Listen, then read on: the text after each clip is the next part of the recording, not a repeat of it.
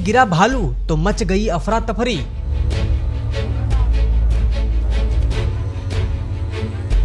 कई घंटों तक कुएँ के पानी में तैरता रहा जंगली भालू।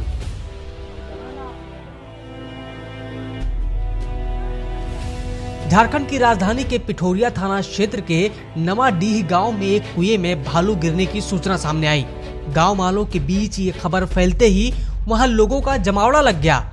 कहा जा रहा है कि कई दिनों से भालुओं का झुंड आसपास के इलाके में भ्रमण कर रहा था और खेतों को नुकसान पहुँचा रहा था।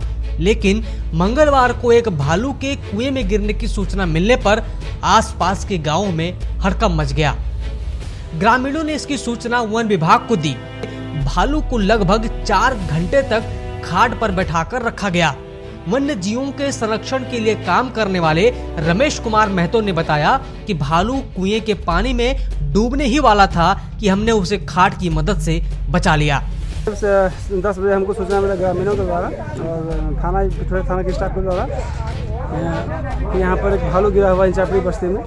फिर वन विभाग से भी सूचना कुछ प्राप्त हुआ। उसके बाद हम लोग आए यहाँ पर लगभग डूबने ही वाला था लेकिन खाट को हम लोग अच्छे से बाँध के उसको उसको टिकाए रखे और करीब चार घंटा उसमें बैठा रहा भालू। और चूँकि पिंजरा लाने में लेट हुआ थोड़ा सा हाँ, तो जब पिंजरा आया तो फिर आराम से उसको निकाले वहाँ पिंजरा डाल करके। गाँव वालों का बहुत सपोर्ट मिला इतना सहयोग के बिना हम लोग का असमर्थ है निकालने में। हमारा टीम पूरा जो वाइल्ड लाइफ सोसाइटी का हमारा जो टीम है पूरा सवेरे से लगा हुआ था इस रेस्क्यू में।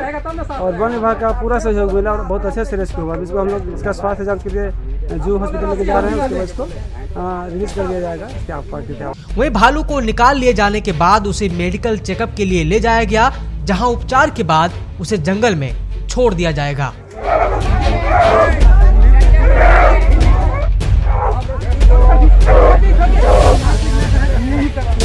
सब्सक्राइब करें पर्यावरण पोस्ट।